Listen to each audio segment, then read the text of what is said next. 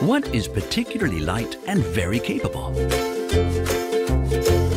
How can assembly efficiency be increased?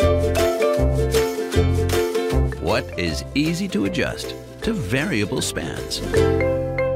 The VRB Truss Girder by PERI. A truss girder system of the 3000 kilonewton meter load class, lightweight and very able.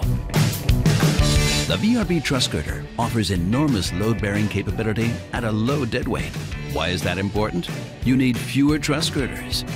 Assembly and crane time is reduced on the site.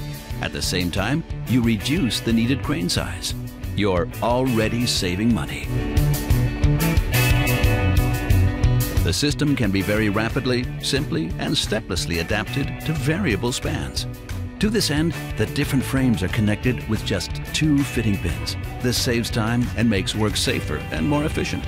And since we're talking about safety, all assembly works take place at ground level. Once they are lifted, the girders only need to be linked into their final position. Really quite ingenious. Where is the VRB system deployed? Anywhere where high loads have to be transferred over wide spans whether for the new construction or renovation of bridges, or when building high-rise buildings. The combination of excellent PERI engineering, the practical and high-performance VRB truss girder, and its compatibility with the PERI UP scaffolding leads to unique solutions for success in your project.